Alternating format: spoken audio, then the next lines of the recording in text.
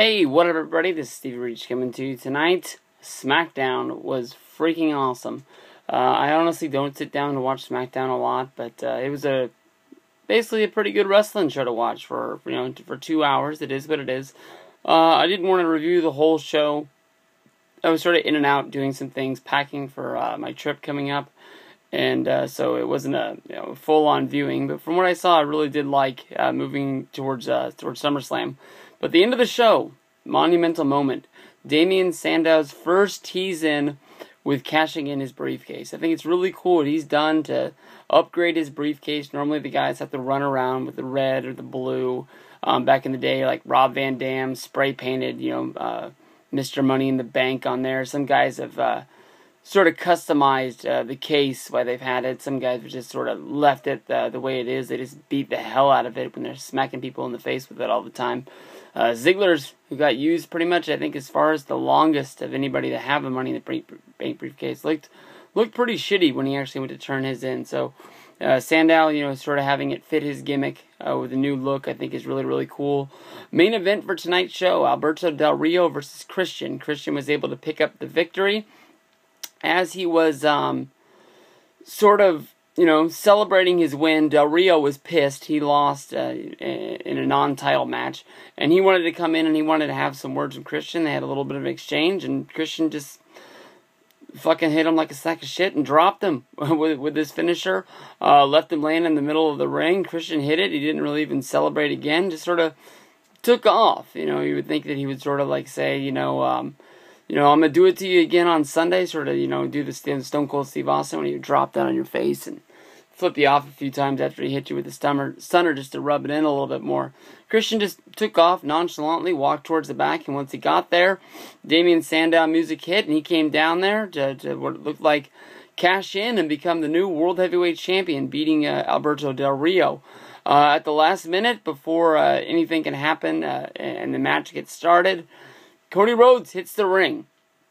It was pretty good. It was pretty exciting. It wasn't until after I was breaking down the show and thinking about this, that, and the other that that's pretty fucking retarded. I know that Cody Rhodes hates Damien Sandow. Their their tag team broke up. He had a shot to become Money in the Bank. His buddy stabbed him in the back to, to, to win it for himself. And so, you know, they're going to fight at SummerSlam. They have a match. It's already planned. It's already booked. It's ready to go. Del Rio and Christian, they have a match for the World Heavyweight Championship. But, hey, at the bottom of every time they put out a card, it always says card subject to change. They've done angles before with belts of, you know, switched hands, and they've still had to go on and have the match. Um, at the show, uh, there was one, um, oh, shoot. Head Shrinkers against Bam Bam Bigelow and IRS was supposed to be a tag team match. Uh, I think that was SummerSlam 94. Uh, it was the opening match of the card and house show before SummerSlam. They switched the titles. Their match still went on. It wasn't a title match. Cody Rhodes had a golden opportunity. If he just would have went out there and maybe monitored to make sure Damien Sandow won his match and became World Heavyweight Champion, Damien Sandow would have been the World Heavyweight Champion and he would already have a match booked to become the number one contender. Yeah, Del Rio and Christian still had a match, but it would just probably just get booked as a normal one-on-one encounter. Um, by him breaking this up, Cody Rhodes did one of the dumbest things ever. And uh, for anybody thinks that I'm breaking this down a little bit too much, and um, you know, not really making sense of this, uh, last um, Monday Night Raw before uh, WrestleMania, Bret Hart versus Stid, uh, steel cage match on Monday Night Raw. Um, you know, they're they're fighting it out, they're battling it out. They already have matches booked. It's the last Raw before Mania. Stone Cold Steve Austin was facing Bret Hart in an I Quit match, and then uh, Psycho Sid was facing The Undertaker for the World Heavyweight Championship. Stone Cold Steve Austin, as a character, pretty fucking smart. Came out there to fucking handle business. He hated Bret Hart, hated everything about him, wanted to make sure he's the guy that was going to rub in his face that he was going to kick his ass at WrestleMania. But if Bret Hart won this match, he was to become the World Heavyweight Champion, which means at WrestleMania he would get a shot to have that belt. So he came out there and he started whooping Sid's ass to make sure he was going to get it. Undertaker, on the other hand, he saw his title shot going out the window and didn't want it to lose, so he came down and he started whooping ass uh, to make sure that um, Sid wasn't going to lose that title. in the end, uh, Bret Hart, this is the beginning of the uh, Bret versus Vince thing uh, as a television angle. Uh, in my mind, it was the start of the uh, Attitude Era. One thing led to another. Psycho Sid got the win. Bret thought he got screwed, threw a big old uh, temper tantrum.